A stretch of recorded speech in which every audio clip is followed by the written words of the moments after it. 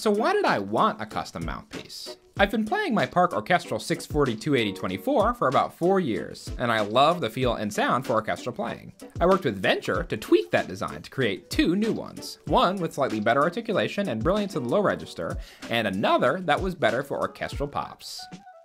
Normally, designing a custom mouthpiece based on my own equipment would either be very expensive or very time consuming, but doing this project with Vennture was neither. So how did we do it?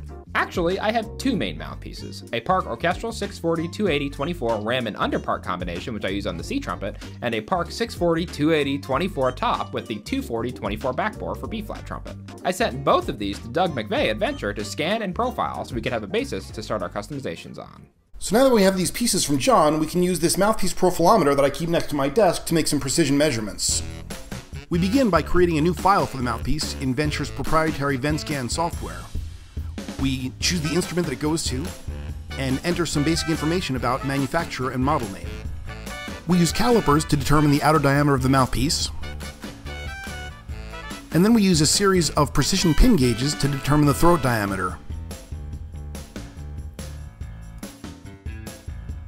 After entering these measurements, we launch the cup tracing function.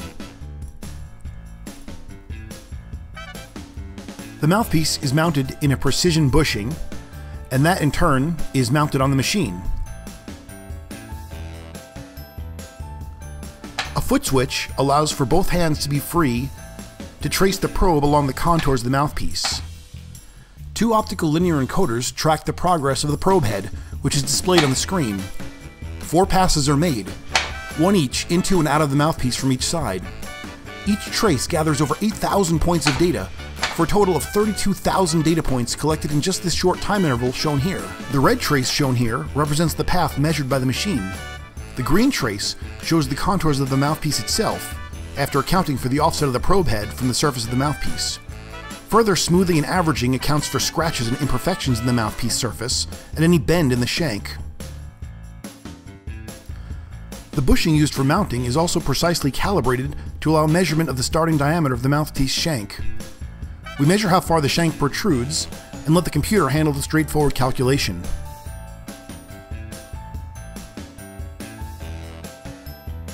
We remount the mouthpiece, this time with the back bore facing the probe. Measure 317. The computer selects a series of precision pin gauges to insert into the back bore, and we use the probe to measure how far each one goes in. In this way, the shape of the back bore is mapped.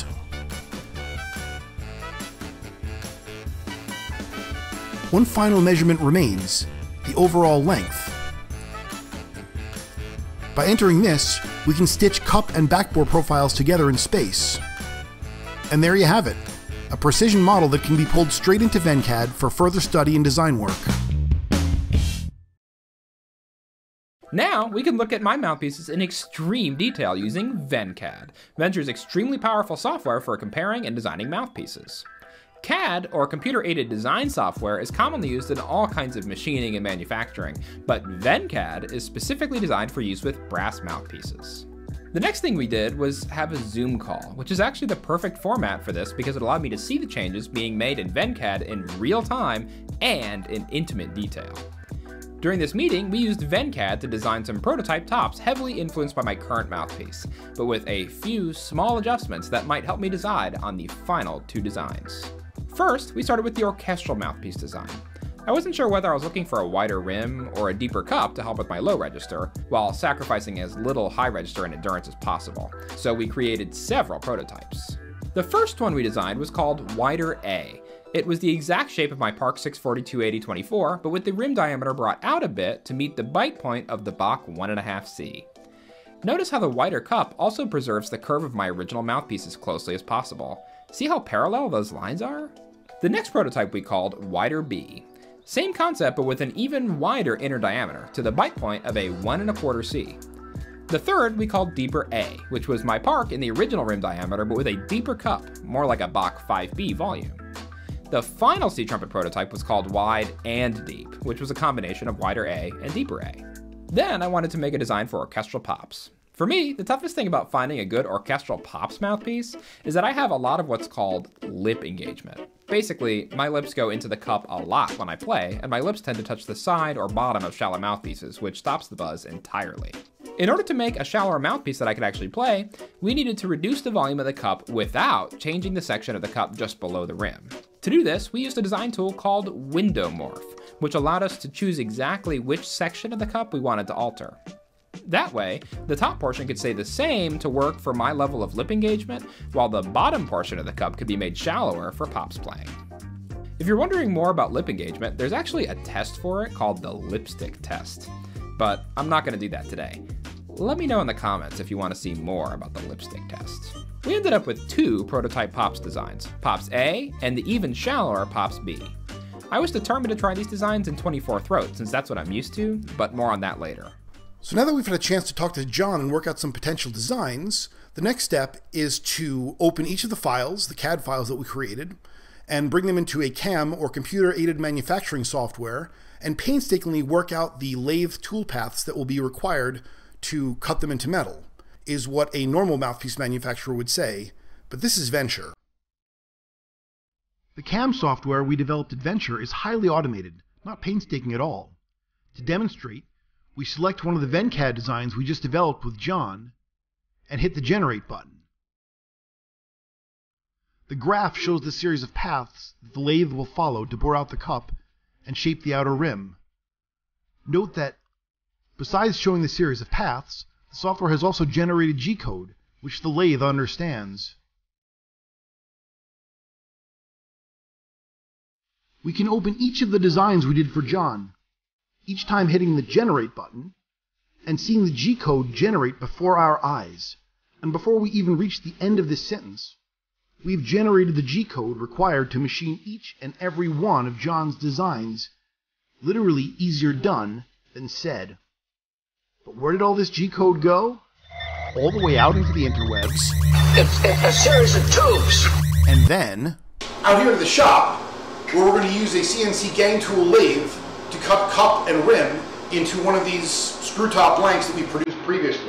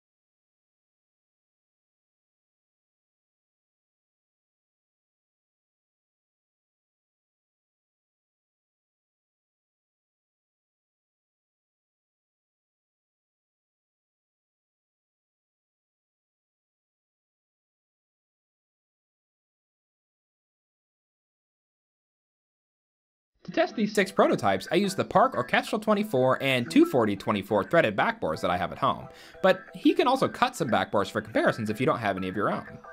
This prototyping process is amazing because it allows you to gather information and hone in on the final design before dropping money on a whole new finished mouthpiece. After playtesting all these tops, I have learned a few things. First, wider A was the closest to how I wanted the final design, but perhaps was still too wide of an inner diameter. Second, Pops A was my favorite of the Pops designs, but I wanted more cup volume and resistance. And lastly, I liked the sound and feel of the wide and deep, but I felt like it might be too big for all around playing in terms of endurance. I was also curious what effect the silver plating would have on the feel, considering all the prototypes I had tested were in unbuffed raw brass. So I talked to Doug again, and we came up with some adjusted prototypes for me to try. We made wider A 2 thousandths of an inch narrower of an inner diameter. Doug suggested that we try that one in three finishes, actually unbuffed, buffed, and bead blasted raw brass. We also made a version of wide and deep with the same narrower inner diameter. And for Pops, we designed Pops A Plus 26 throat, a slightly deeper version of Pops A, but with a 26 throat, again, at Doug's suggestion. Wider A minus 2000s and I hit it off. The unbuffed version was good, but I liked both the buffed and the bead blasted versions better. The bead blasted version has a little extra grip, which I really like the feeling of because of my dry set, and it just looks so classy. Wide and deep minus 2000s was a good design, but again, perhaps too big to handle for most things. But Pop's A plus 26 throat was spot on. The smaller throat made the mouthpiece sizzle at less loud of a volume or sooner while crescendoing, which made a lot of sense for my playing goals. My final custom order was the wider A minus 2000s with the orchestral backbore for C trumpet in both buffed and bead blasted finishes, and the Pops A plus 26 throat with the 240 backbore for orchestral pops. A few weeks later, I had my final custom mouthpieces in my hands.